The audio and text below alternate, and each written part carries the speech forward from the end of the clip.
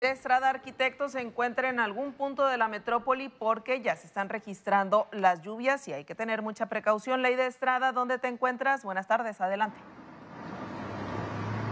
Hola, ¿qué tal? Muy buenas tardes, Sandra. Me da mucho gusto saludarte a ti y al auditorio. Pues como bien ya lo señala mi compañero Nelson, las lluvias ya se hacen presentes en distintos puntos de eh, la entidad. Sin embargo, en el área metropolitana aún ha sido moderada la lluvia. Durante esta tarde se registró alguna precipitación leve en el centro y sur de la ciudad de Monterrey. Sin embargo, donde ya nos reporta el personal de protección civil de Nuevo León que se registran lluvias fuertes e intensas es en en municipios como China, Nuevo León, también en el municipio de Los Ramones y en el municipio de Los Herreras, Nuevo León, donde han compartido ya algunas imágenes de los operativos que han realizado en dichas zonas de estos eh, municipios, en donde refieren que, bueno, pues ya se registran estas lluvias y también mencionan que, pues se registran en mayor parte en la zona norte y oriente del estado, esta situación que podría beneficiar para eh, la presa del cuchillo y que en este caso, pues también eh, pidieron a las personas,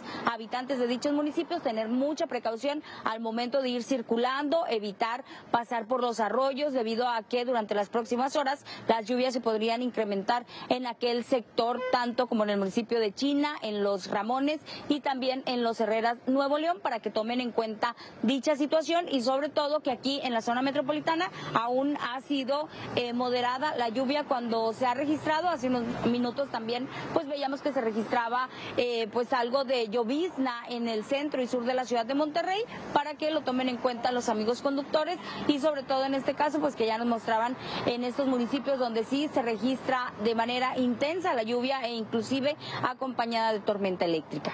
Bien, gracias Leida por esta información. Nos mantenemos en contacto en cuanto haya más novedades con estas precipitaciones. Gracias y buenas tardes. Muy buenas tardes.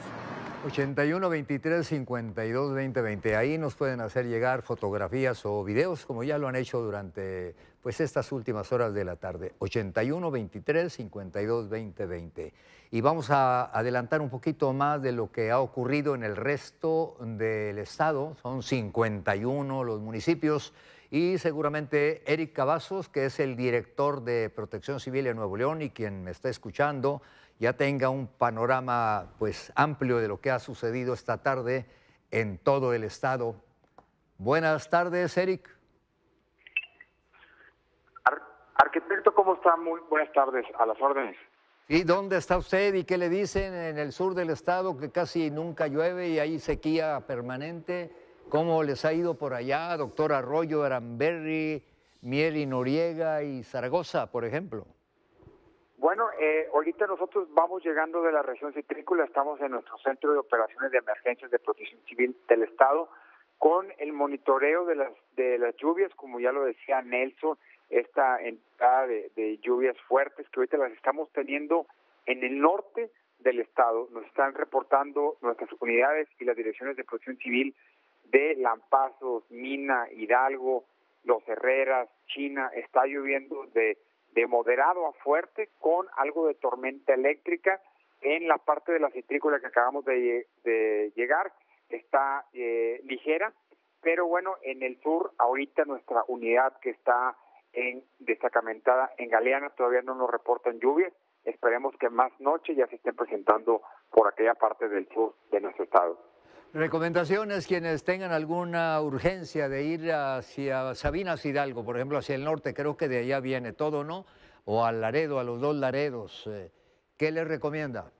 Bueno, primero que era muy importante, eh, si vamos a salir a carretera, es obviamente poner nuestro cinturón, no ir distraídos con los teléfonos, eh, siempre respetar los límites de velocidad si nos llega a tocar en carretera ir manejando despacio, porque hay veces que se hacen algunas cunetas por alguna eh, acumulación de agua, manejar con mucha precaución y también